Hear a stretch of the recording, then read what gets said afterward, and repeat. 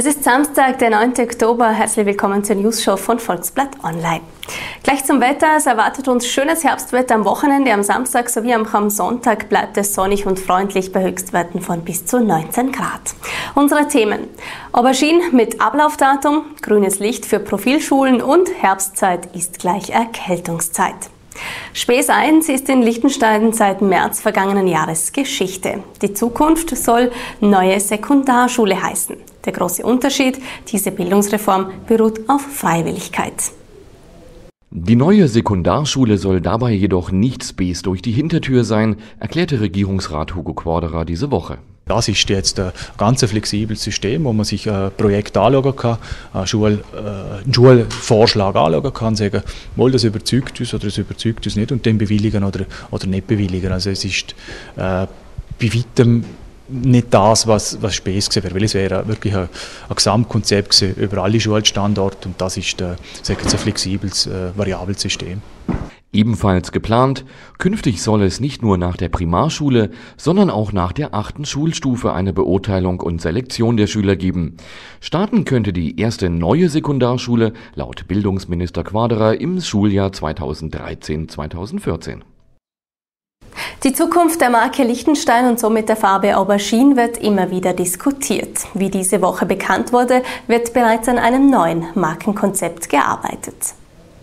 Regierungschef Klaus Tschütscher näherte in dieser Woche die Spekulationen um die Zukunft der Marke Liechtenstein und somit auch um die viel diskutierte Farbe Aubergine. Die Haltung der Stiftung dazu, während des Zusammenführungsprozesses wird keine Markendiskussion geführt, erklärte der Geschäftsführer der Stiftung Image Liechtenstein, Michael Gattenhof, gegenüber dem Volksblatt. Dieser Prozess dauert noch an. Fakt ist aber, dass bereits an einem neuen Markenkonzept gearbeitet wird, wie Regierungschef Tschütscher erklärte. Konkretes nannte er aber bis dato nicht. Und jetzt kurz und knapp zusammengefasst die Themen der Woche in unseren Kurznews. Fertigstellung verzögert. Die alte Holzbrücke zwischen Vaduz und Sebelen erstrahlt erst teilweise in neuem Glanz. Die Arbeiten werden rund einen Monat länger dauern als geplant. Die Brücke wird somit erst bis Ende November fertig sein. Lösung gefunden. Nach dem geschlossenen Rücktritt der Langläufer aus dem LSV und den danach folgenden Unstimmigkeiten konnte nun eine Einigung erzielt werden. Die Athleten des Nordic Clubs erhalten für die laufende Saison 2010-2011 einen befristeten Sonderkaderstatus des LSV.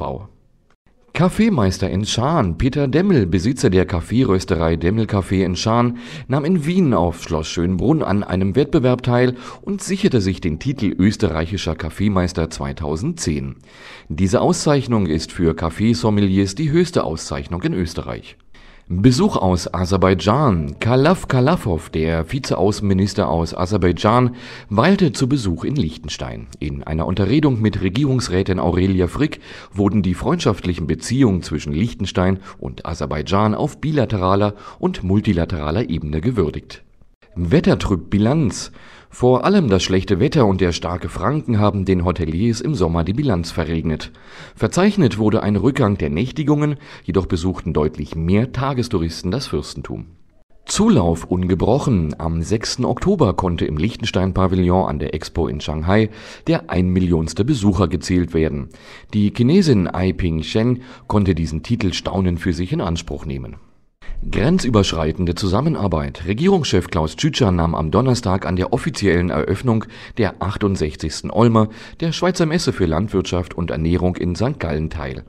Im Zentrum der Eröffnung stand die Ansprache von Bundespräsidentin Doris Leuthardt. Der Herbst ist da und bald schon werden mit ihm die üblichen Erkältungskrankheiten beginnen. Ein erhöhtes Aufkommen an Stirnhöhlenerkrankungen ist bereits schon jetzt in den einheimischen Arztpraxen zu verzeichnen. In der Praxis Dr. Andreas Walch in Triesen treten schon seit einigen Wochen vermehrt Stirnhöhlenentzündungen auf. Schuld daran ist, wie so oft, das Wetter. Von einer Epidemie kann zwar nicht gesprochen werden, jedoch von einer sehr starken Häufung. Sie fangen an mit einem äh, Art äh, normalen Verkühlungsgefühl, mit Halsweh, äh, leichten Nasenlaufen, heilen aber typischerweise nicht aus, sondern sie nach einer Woche verschlimmern sie sich. Es kann zu, das Kopfweh kann zunehmen. Es kommt ein Husten dazu, oft ein besonders lästiger Nachthusten, der nicht heilt. Äh, es äh, kommt dazu, dass man einen Druck zwischen den Augen hat.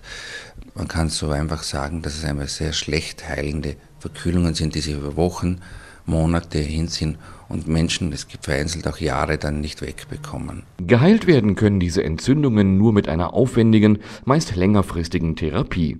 Auch Akupunktur kann in vielen Fällen helfen, die lästigen Entzündungen loszuwerden. Das war's von der News Show. Ich wünsche Ihnen ein schönes herbstliches Wochenende. Genießen Sie es und haben Sie es fein. Bis zum nächsten Mal.